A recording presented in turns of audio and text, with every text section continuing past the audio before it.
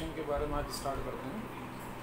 What mean by friction देखो बच्चों, एक सरफेस है नीचे दिखा रहे हैं। एक बॉडी को एक ब्लॉक को मैंने इसके ऊपर रखा हुआ है।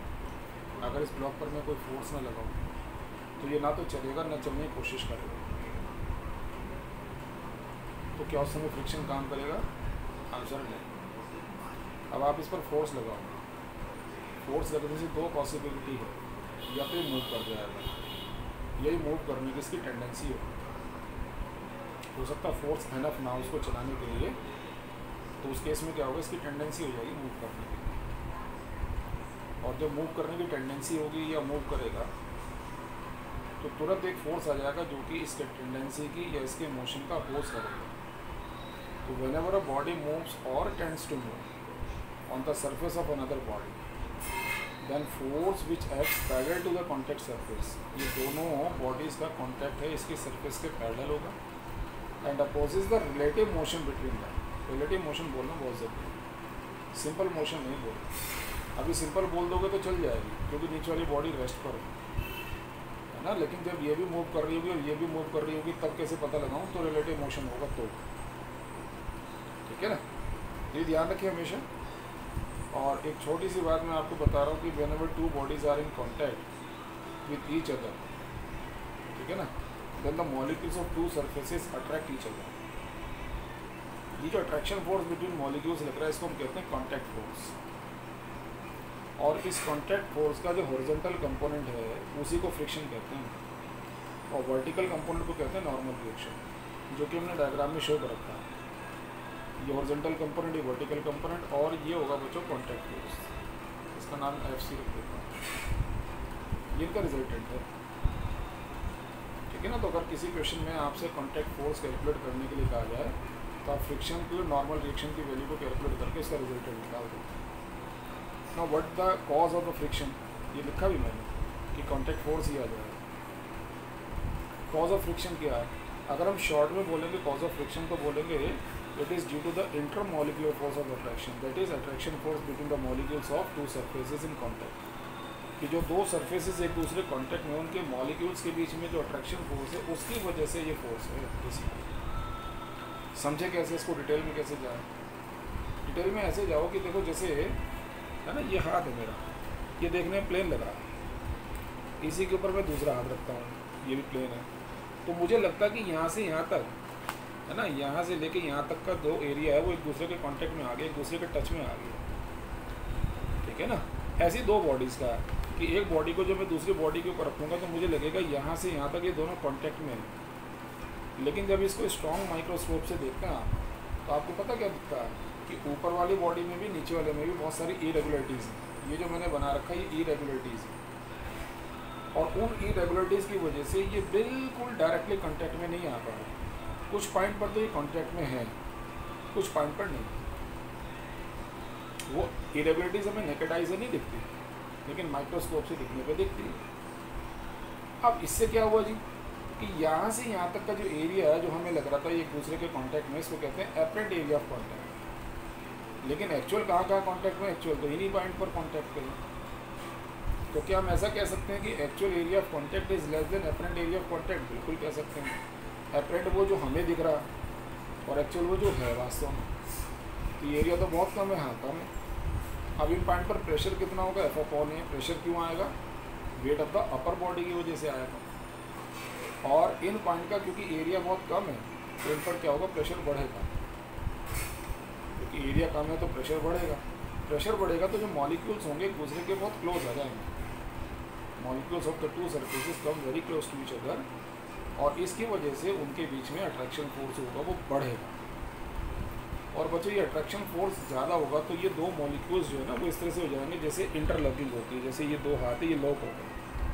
ये नीचे वाला मॉलिक्यूल समझ लो, ये ऊपर वाला मॉलिक्यूल समझ लो, ये लॉक हो गए। अब अगर मैं ऊपर वाले मॉलिक्यूल को आगे चलाना चाहूँगा यूँ तो नीचे वाला क्या करेगा? खींचेगा वापस इसे अपनी फिर मैं इसे आगे चलाना चाहूँगा, फिर ये खींच लेगा। तो क्या नोटिस कर रहे हो? कि जब कभी ऊपर वाले को आप चलाने की कोशिश कर रहे हो तो नीचे वाला क्या कर रहा है? उसका अपोज कर रहा है। ये तो फ्रिक्शन है it is only the friction कि ये जो इंटरमोलिकुलर फोर्स लग रहा है, इसकी वजह से क्या होगा कि जब भी एक बॉडी दूसरी के सरफेस पर मूव करेगी या करने की कोशिश करेगी तो जो नीचे वाली सरफेस है ना, जिसके ऊपर वो चल रही है, उसके मॉलिक्यूल्स वापस खींचेंगे उसे।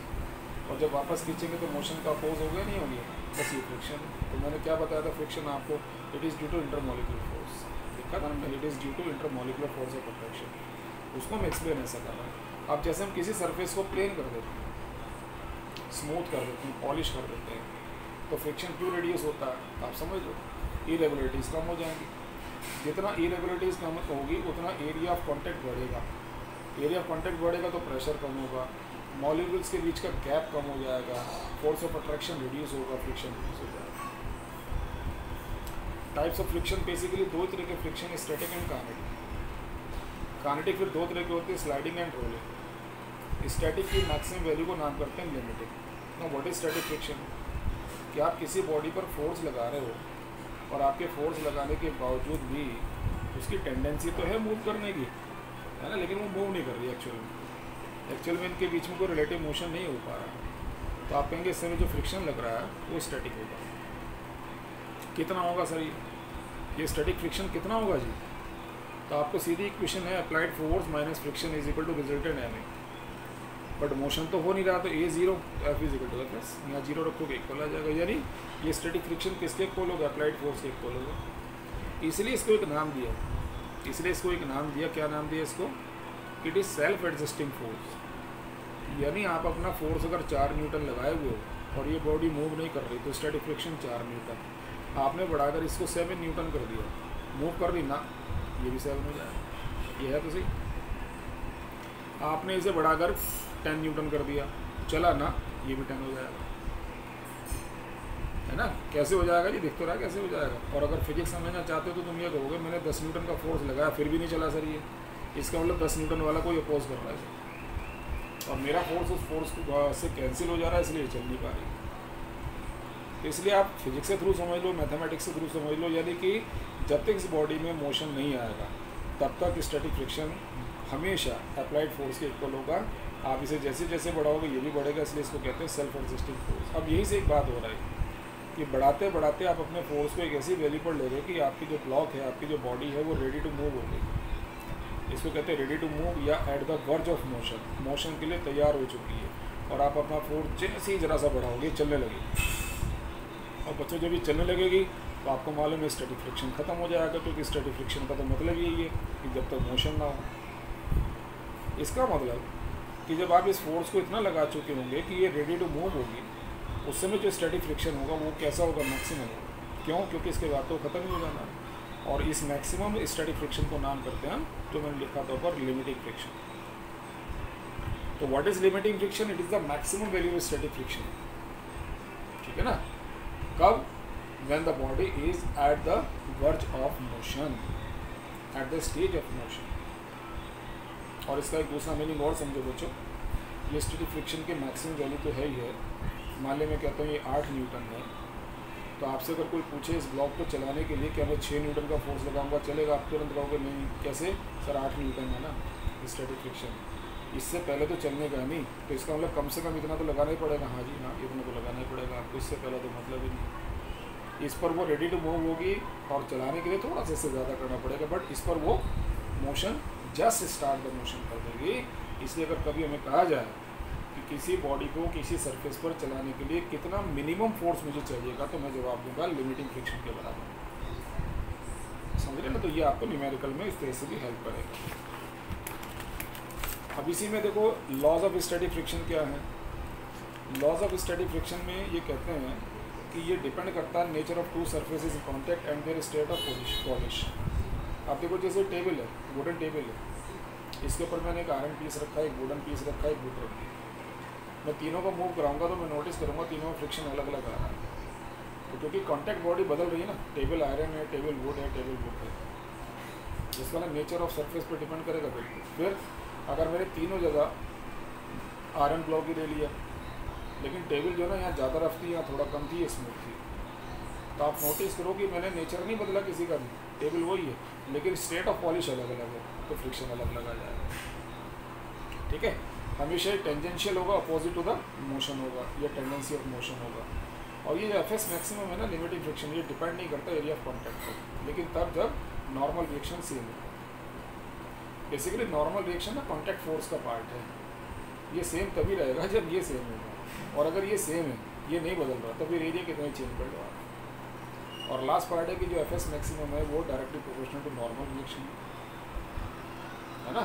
और नॉर्मल रिएक्शन को हटाकर इसको कांस्टेंट यूज़ करूँगा तो म्यू एस एन होगा म्यू को नाम करेंगे coefficient of static friction you know that N is equal to M G रखा रखेंगे तो ये फार्मूला बन जाएगा। अब अगर आपको एक क्वेश्चन दिया जाए, जैसे कि ये है एक बॉडी है, एक सरफेस पर रखी हॉरिजॉन्टल पर, इस पर फोर्स लगा रहे हैं, इसका स्टैटिक फ्रिक्शन इतना दोनों के बीच में जी है बॉडी का मास फोर के जी है तो बताइए तीन न्यूटन का फोर्स लगाने से, सात लगाने से क्या चलेगी? तो आपको क्या करना होगा, सोचो आप, अब ये बात समझ आएगी कि आप ना लिमिटिंग फ्रिक्शन की वैल्यू निकाल के रख लोगे तो वो है आठ न्यूटन आप समझ जाओगे, सर, इससे पहले तो समझ, चलना ही नहीं समझ मैंने कितना फोर्स लगाया? तीन न्यूटन है, ये तो कम है उससे हाँ नहीं चलेगी। मैंने कितना लगाया? सेवन न्यूटन, ये भी कम है उससे हाँ नहीं चलेगी। फिर वो कहने लगा अच्छा मिनिमम फोर्स कितना चाहिएगा चलाने के लिए? तो आपका क्या जवाब होगा? सर, कम से कम इतना तो लगाओ। इससे पहले तो मतलब ही नहीं। इसलिए मैंने इसको वर्ड यूज़ किया था मिनिमम ठीक है?